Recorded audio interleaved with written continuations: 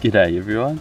I'm out here in the burning hot Australian sun with some gallium and some magnifying glasses.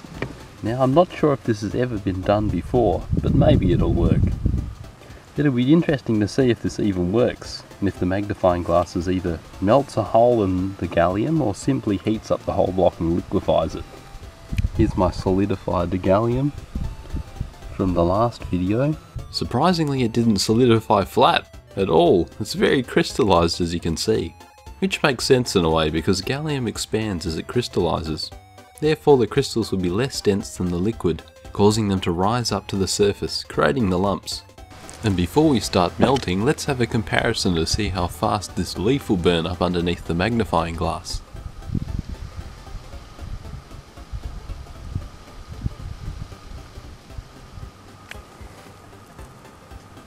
Suppose now to begin with, we'll just try a small amount of gallium. A little bit here that I prepared earlier. One reason why I think it might melt a nice little hole is because of gallium's relatively low thermal conductivity. It has about a conductivity value of around 30.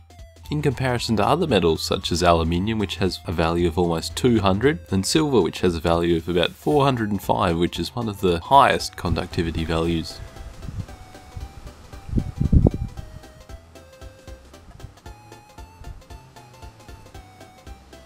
And as you can see, we've actually got a small little dimple.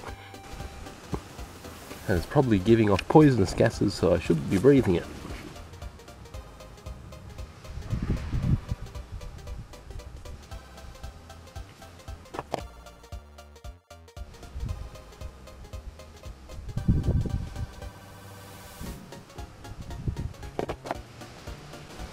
It's going quite well so far.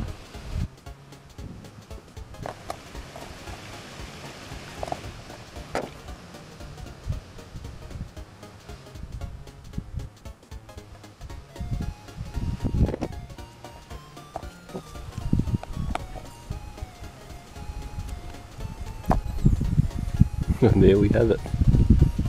You can also hear the metal crying out and making a sound as the crystal structure rapidly changes, similar to a tin cry. There we have it. You can use the power of sun to melt a hole in your gallium. Well, I'm surprised it worked. That's pretty cool though. Nice hole.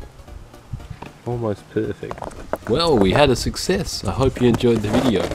Remember to like and subscribe if you did.